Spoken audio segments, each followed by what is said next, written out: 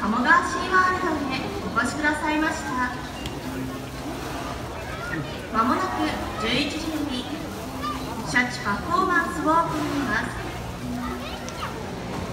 パフォーマンス中観覧席上段まで水がかかることがございます。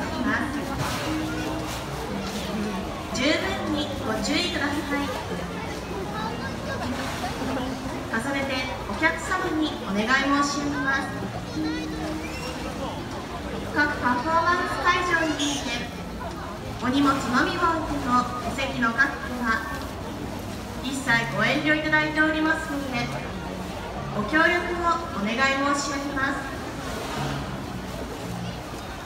またお手持ちのパンフレットや帽子ビニール袋など飛ばされないよう十分にご注意くださいベビーカー置き場をご利用の際貴重品食べ物はお手元にお持ちくださいますようお願い申し上げます。それではシャチパフォーマンス開始まで今しばらくの間お待ちください。はい、それではですね。